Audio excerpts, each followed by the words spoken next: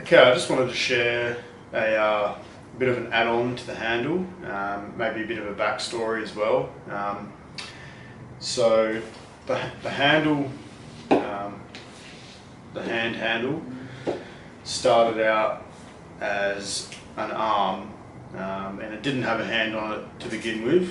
It was basically an arm with just a like a egg shaped sort of handle. Um, and yeah, from there I kind of went on to want a hand to attach to it instead of the egg shaped part, um, just to make it feel even more legit. Um, and that's how the handle came about. Uh, started out as messing about with different 3D print models and stuff like that, just trying to find a, a hand that I thought would, would sort of suit the most people. Uh, and then from there, uh, playing around with it for a while, I kind of discovered that the hand worked good as a handle without the arm. So I kind of, I kind of stopped using the arm with it, and, and it became more just a handle. Um, and the arm was quite complicated to make, so again, that's kind of why I didn't go down that path. Um, but yeah, I've been playing around trying to, to find ways to, to make it a bit more simple but still kind of work similar to an arm and, and give you those restrictions that an arm would kind of give you. And it's very, very simple. Uh, it works quite well. You don't have to modify anything. Um, so yeah, I'll show you. It's basically a spring with loops on it.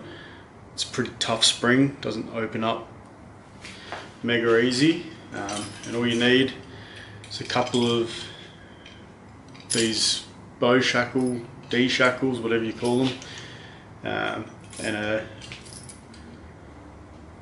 like a eye bolt. So basically that that's it. That's all you need.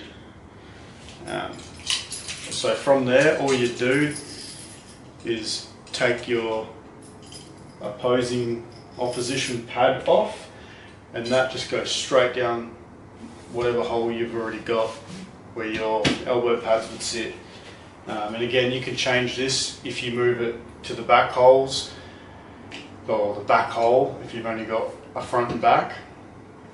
Um, obviously, that'll give you more room to, to drag if you start at the front, it'll give you access to being able to be at the back of your pad.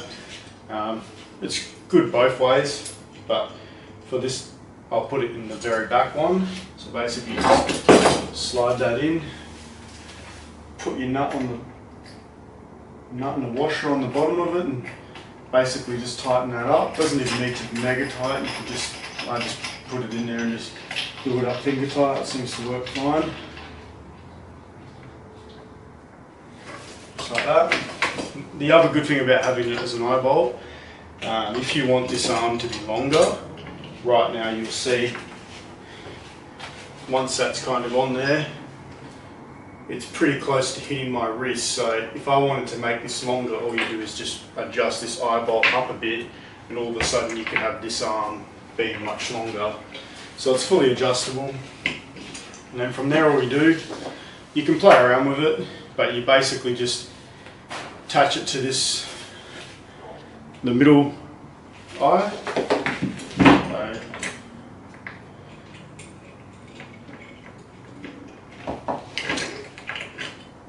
basically just straight to that little eye bolt.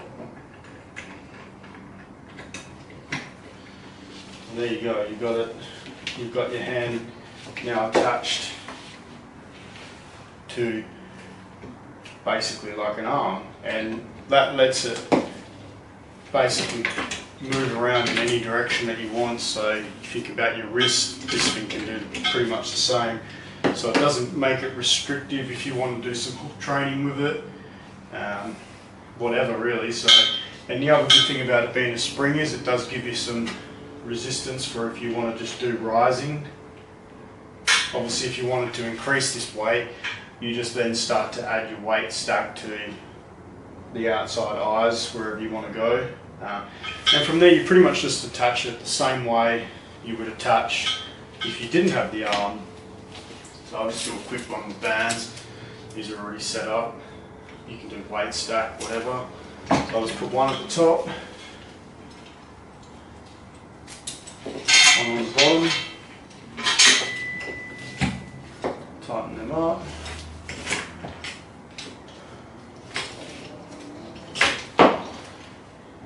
This one probably needs be tighter, but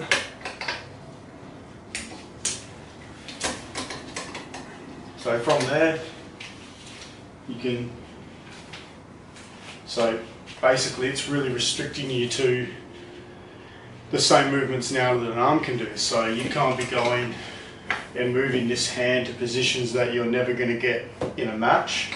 So now it's it's locked, so you will all of a sudden be restricted by how much you can move your hand in. Um, but like I said, it really doesn't stop you from doing anything. You can still work your cup with that. So rising, you can hook it. Um, I recommend if you're going to hook it to have it in, in the front hold up because um, it'll put a lot of pressure through like the bottom of your hand the more stretched out that is uh, and obviously the same thing goes if if you don't want the spring resistance you just make the eye bolt long enough that basically when you're up where you want to be it's not really giving you anything uh, but it does add it is it does make this a little bit different to use, having that resistance pulling down. It's kind of like, I guess, somebody planting their elbow, elbow in the pad and, and you basically trying to lift them off. But yeah, I thought I'd just share with you guys for anybody who kind of would like to make it more realistic. Uh, obviously, when I eventually I'm get the left and all that done, it'll be the same process to basically just undo. I mean, you could just use a snap clip if you wanted, just one of them. Uh, it doesn't really matter. I just use that, just, I don't know, just trust it more. Like I said, very easy to take off. Can just leave it set up on your table if you wanted. So when you want to do the training with the whole arm, it's there ready to go. But yeah, it really does change the way it feels. Um, so what I'll do with these, uh, I just buy this stuff from my local hardware shop. Um, some of the springs have open ends.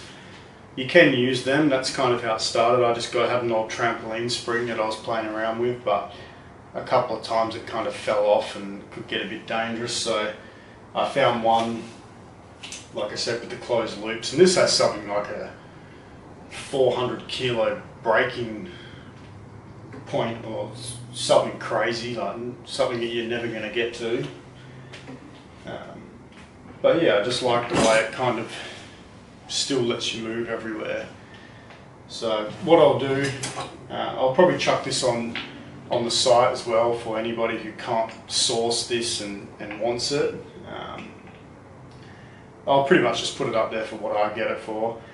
Uh, I'll add it to a package as well if you wanted to to sort of buy it all together. But um, yeah, it won't be very expensive. I think all up it cost me uh, maybe twenty dollars or something like that. It wasn't very much.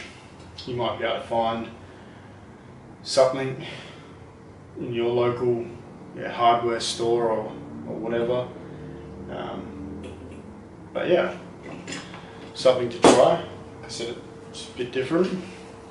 Yeah, thanks for watching.